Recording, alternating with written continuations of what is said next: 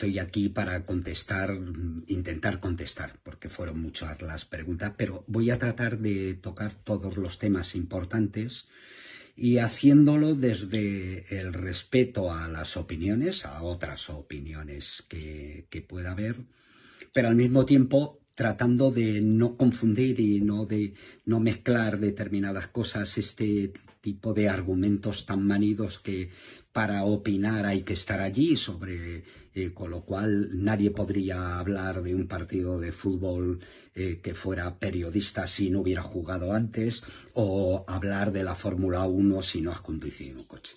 Bueno, pero además en mi caso estuve allí, exactamente en el K2 He estado cuatro veces por cuatro vertientes diferentes. No creo que haya mucha gente en Twitter que pueda decir lo mismo. Pero quiero decir que me voy a atener a los datos y a los argumentos. Y eso es en todo caso lo que me gustaría que, se moviera el, el debate. Por supuesto, no tolero ni los insultos ni, ni, ni los argumentos estúpidos. Yo creo que que toda la gente que ha entrado en el debate tiene conocimientos para poder aportar y el que no los aporte, pues que lea nada más y se calle. Y lo primero que debería de decir es que eh, hay que felicitar al grupo de, de Serpas, de los 10 Serpas que subieron a la cumbre del CAP2 en, invierno realizando la primera ascensión invernal de esta montaña que para muchos, para muchos de nosotros, entre los que me cuento, es la gran montaña, la montaña de las montañas. Y a partir de ahora empezamos.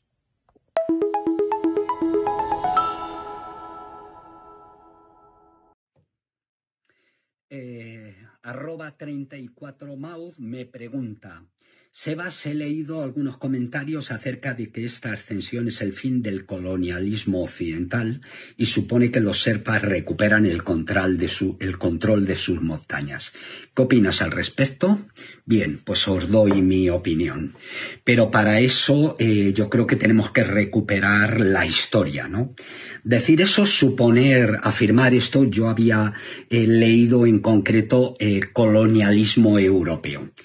Decir eso es faltar a la verdad, directamente. En, Nepal no, no, quiero decir que no haya habido eh, influencia occidental ni capitalismo occidental, pero en realidad debería hablarse más bien en este caso, de un pequeño país aplastado por dos tan grandes como son la India y China. Quiere decir que los europeos en eso han tenido que ver muy poco. Pero luego, además, lo que llevan los eh, alpinistas europeos a, Nepal y, y, también a Pakistán y, por supuesto, al, Tíbet es la ilustración. Son los valores de la ilustración y la ciencia los que llevan detrás de, ello. Y decir que los sepas van a recuperar el control de sus montañas es, es también faltar a, la verdad. Eh, si los serpas y los nepalíes viven pobres, en buena medida será por sus élites culturales y, y gobernantes que, que, han tenido, no por los alpinistas europeos, que sobre todo desde los años 50, porque antes estuvo prohibido, empezaron a realizar expediciones que pusieron a Nepal en el mapa y que además realizaron importantes tareas al respecto del conocimiento de las montañas, de todo lo que les rodea y también en fomentar una eh, clase de turismo activo que a día de hoy es una de las más importantes fuentes de ingresos de Nepal.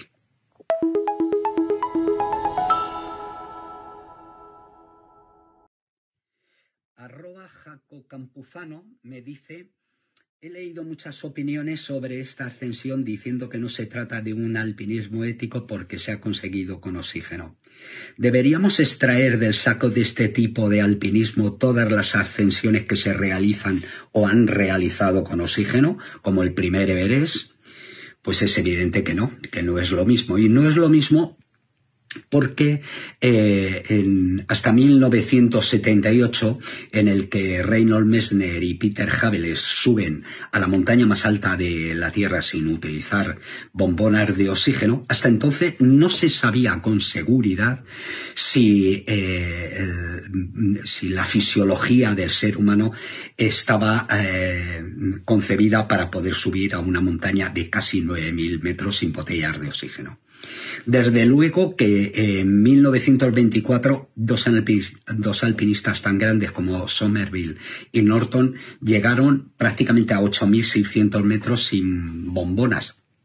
Y en ese, en, ese ejemplo se basarían, sin lugar a dudas, Reynold Messner, como, como eh, me dijo en una entrevista, para poder plantearse primero el Everest sin oxígeno, que yo creo que, que, tiene una relativa importancia, pero sobre todo en 1980 Messner sube al Everest sin bombonas de oxígeno, en solitario, eh, mm, eh, por la cara norte y además en tiempo monzónico. Quiere decir que a partir de entonces todos esa ética, que es la suma de comportamientos en el, alpinismo, empieza por decirlo de alguna forma. Así que no podemos juzgar una ascensión en, en, mil, en 2021 con las ascensiones realizadas en 1922, 24, en 1978. Aunque el debate del oxígeno viene, del debate ético del oxígeno, viene desde 1920 y desde luego, en mi opinión, estaban acertados los que pensaban que era eh, mejorar el rendimiento del alpinista.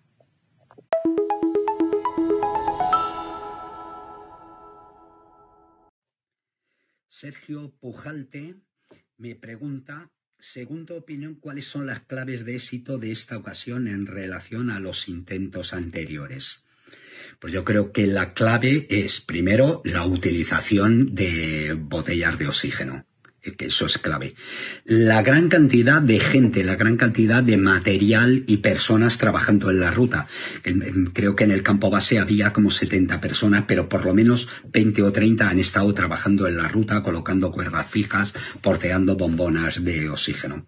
Así que eh, las bombonas de oxígeno, la proliferación de cuerdas eh, fijas, la rapidez con la que se ha actuado en la montaña y sobre todo el componente de equipo. Los 10 Serpas han comportado con mismo equipo, algo que es muy difícil de, de, conjugar en las expediciones comerciales. Yo creo que todo eso, bueno, todo eso y el trabajo en común que han hecho en la última parte de, de la montaña, eh, la fortaleza de, de, de los 10 alpinistas, algunos de los cuales tienen ya un historial muy meritorio, y luego yo creo que por último, el que han sabido hacer de, la cumbre del K2 eh, para ellos y para buena parte del, mundo un símbolo. Y, querían hacer el símbolo de, de, una nación, de, la, de, los nepalíes subiendo al, al último reto en mi opinión, es una operación de marketing, claramente. Es decir, ahí van unas eh, agencias de viaje que quieren hacer del K2 el siguiente Everest, es decir, una mina de ganar dinero, eh, un chiringuito como tienen montado exactamente el, Everest, en el que se eh, prácticamente se apropian de una montaña en beneficio propio. Creo que eso es lo que quieren hacer con el K2 a partir de ahora. Y lo iremos viendo.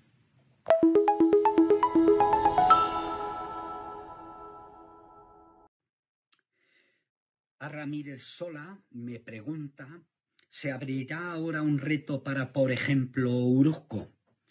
Bueno, yo creo que el reto del K2 eh, sigue intacto, literalmente, ¿no? Es decir, eh, mm, eh, plantearse una expedición eh, a comienzos del siglo XXI con la mentalidad de 1950 no debería ser tachado desde luego de un logro histórico, por importante que sea, porque en, en alpinismo, desde luego, el estivo, el estilo, la forma en el que se hace es más importante que el conseguir la cima. Yo creo que eso forma parte de la ética del alpinismo. Yo, yo, yo eh, ya lamento que haya personas que utilizando valores de, de otros deportes más competitivos crean que ganar el partido es lo que importa. Pero en el caso del alpinismo, conseguir la cima no es ganar el partido es la forma en que se ha realizado, la vertiente que se ha escogido, eh, los medios que se han utilizado. Y en este caso es, es, mm, digamos que una línea de pensamiento que viene de muy atrás y que viene de, ya desde el siglo XIX, con, con el intento de ascensión del Nanga Parbat con Alfred Mumeri, pero luego detrás de ellos todos los grandísimos alpinistas, Bonatti, Terray, eh, mm, los famosos alpinistas británicos de los años 70 y 80 hasta llegar a Messner, que en buena medida es heredero de, de Bonatti. Y Messner llamó a eso el alpinismo de renuncia y los medios justos. Me sorprenden las últimas declaraciones de, de Reynold Messner porque, porque en realidad eh, si, si, las han recogido bien los medios eh, en los que yo he leído, supone contraponer todo lo que él ha defendido durante toda la vida, que él llamaba utilizar siempre los medios justos.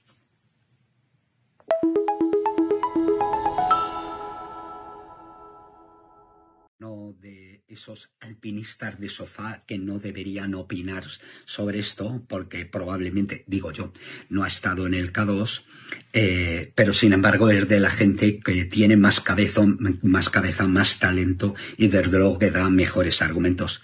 Me pregunta si, eh, viendo la reacción de medios y grandes alpinistas al respecto de, de la ascensión del K2, está perdiendo el estilo frente a resultados o la velocidad. Yo creo que si se lo preguntas a la gran mayoría de, de alpinistas dirían que no, que el estilo es lo que importa, algo que por otro lado es obvio, ¿no? los medios justos frente a los retos que te planteas. Lo que ocurre es que las, gran, las redes sociales se han abierto, eh, digamos que a la gran banalidad de gente que solamente opinaba del fútbol y ahora también está opinando del alpinismo, probablemente no sin haber ido al Himalaya, que por supuesto se puede opinar, pero sobre todo sin haber leído, que yo creo que es lo importante. Los debates se, eh, se practican con argumentos y los argumentos detrás de ellos tiene que haber conocimientos, es decir, conocimiento y lecturas. Así que yo creo que no y, y espero que, que los medios eh, y el estilo sigan siendo lo importante. Y luego me pregunta sobre esas declaraciones de Moro, que no sé también si se han recogido bien, que en, durante toda la historia del alpinismo un alpinismo no ha matado el otro y que conviven. Pero yo creo que no, que no es cierto, que eso no es verdad, sino más bien todo lo contrario. Eh, si nos estamos refiriendo a la historia del alpinismo. Si lo que queremos decir es que por la Sierra de Madrid cada uno puede caminar o escalar de la forma que quiera, pues sí, pero no estamos hablando de eso. Eh, precisamente la historia del alpinismo es lo contrario. Se dejan los guías eh, y, se empieza a hacer otro tipo de alpinismo más puro. Y luego se abandonan las bombonas de oxígeno o se hacen más rápidos, se hacen más audaces con mayor compromiso. Así que yo creo que en ese sentido no, no las comparto.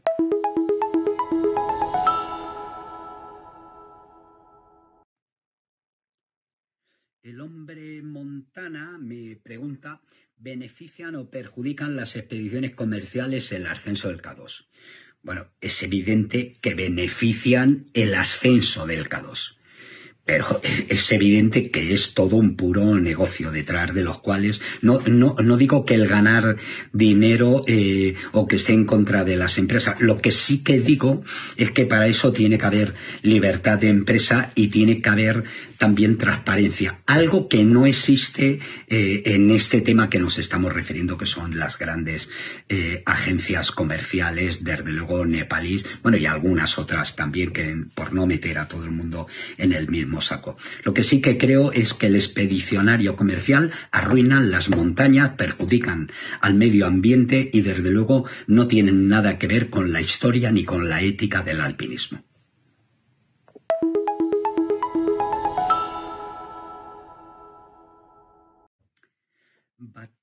Batusai 5521 me pregunta, se habla mucho del uso de oxígeno y poco de la manera en que han equipado la vida, la vía. ¿Qué opinas de esa forma de equipar? ¿Desvirtúa la ascensión como lo hace el uso de oxígeno? Pues yo creo que sí. Yo creo que el, que el estilo tiene que ver con todo.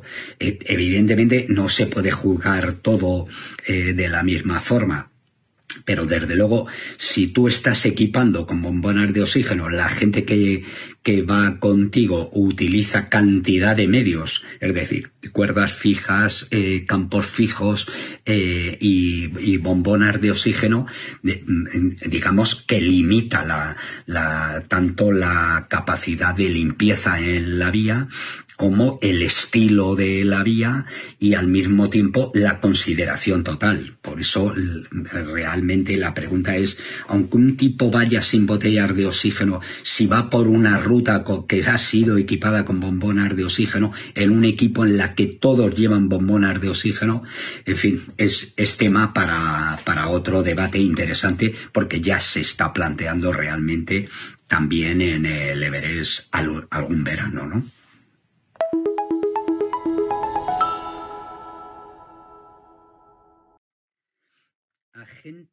Eh, Serpa NP eh, me pregunta por qué se dice la gesta de los nepalíes no es alpinismo de verdad y qué autoridad otorga a los que lo dicen. Bueno, eh, yo creo que lo que la única autoridad es la del conocimiento, leer, leer y conocer. Eh, conocer la historia y, saber en qué valores están basados el, alpinismo clásico, aparte, aparte que es perderte lo mejor de la historia del, alpinismo, es lo que te otorga conocimiento para poder ver y juzgar en, en globalidad los hechos cuando suceden, igual que ocurre con la historia universal.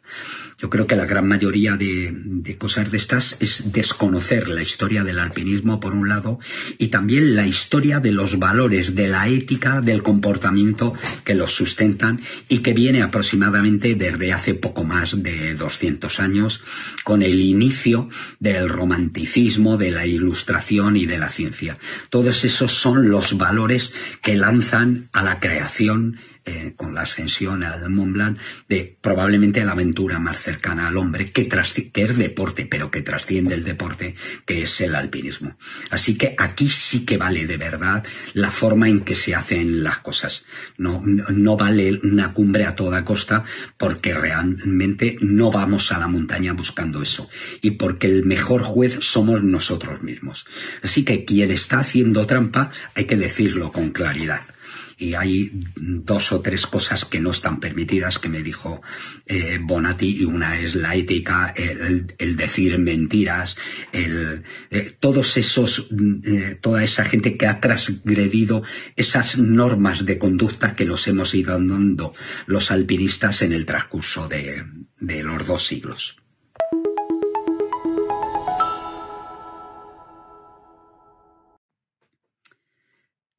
J. León Munoz me pregunta cuál sería tu Dream Team para 8000 en estilo alpino. Bueno, eh, no, sé si se refiere a alpinistas actuales de España eh, a nivel internacional, pero voy a tratar de hacer mm, una lista de gente que a mí me parece que fueron grandes y que desde luego podrían estar en ese equipo.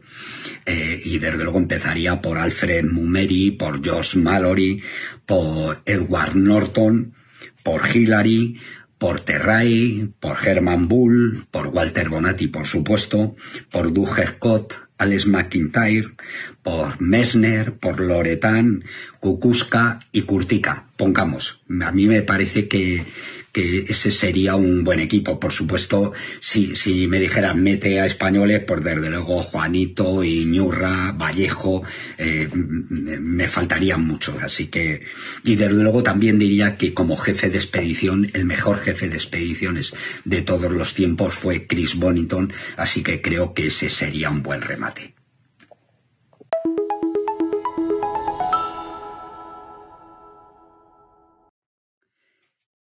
Me pregunta Eduardo Andrés, arroba batum01, ¿queda algún reto pendiente en el K2 en particular y en los 8000 les en general? Bueno, pues por supuesto que sí. Eh, el K2 eh, precisamente y además en los últimos tiempos eh, solamente prácticamente se intenta la, la, ruta normal, la ruta de los abruzos. De vez en cuando alguien se va a la Tomocesen y cuando los chinos les da por abrir el, la ruta del, del, norte, pues por la ruta del el Espolón Norte, ¿no? Pero quedan un montón de vías por, por hacer en el K2 y cualquier ruta, por ejemplo, en el K2 sin utilizar eh, bombonas de oxígeno, sin colocar muchas cuerdas, aunque, aunque podría decirse que a lo mejor en un momento determinado se pueda poner una cuerda, pero con un estilo ligero, son grandísimas rutas. Y en el resto de los 8000 pasa lo mismo. Y luego solamente en el Karakorum pues hay más de 100 montañas entre picos eh, principales y, cumbres secundarias que ni siquiera eh, se habían subido, como ha ocurrido últimamente con el K6. Quedan un montón de retos, paredes, eh, por ejemplo, estoy recordando el piolé de oro que dieron en el 2014 o 2015 por ahí en la cara oeste del K6 por dos escaladores canadienses Ian Bestel y Rafael Slavisky que abrieron una ruta enorme en una pared solitaria donde no había nadie, había un cocinero en el campo base, estuvieron cinco días abriendo una ruta en mixto absolutamente eh, increíble y luego bajaron sin dejar ni siquiera un cordino en la pared. A mí me parece que esos son los, los grandes retos del futuro y están abiertos a todos los chavales jóvenes que, que quieran, desde luego, mm, llevar la vida de un gran alpinista que siempre es arriesgada y que siempre está llena de compromiso y peligros, pero que sin lugar a dudas es grande.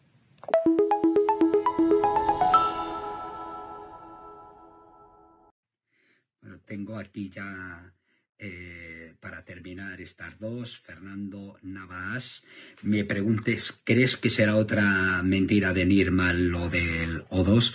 Eh, es, es imposible de, de, saber y yo como periodista en principio, si luego, si 10 personas afirman haber que, que Nirmal ha subido a, la cumbre del K2 sin botellar de oxígeno, pues, pues en principio hay que creerlo. De todas maneras, hay un libro que son grandes mentiras de la exploración que demuestra que incluso cuando en una pareja de dos uno miente, se termina sabiendo. Así que si fuera mentira, nos, nos vamos a enterar y no a tardar mucho.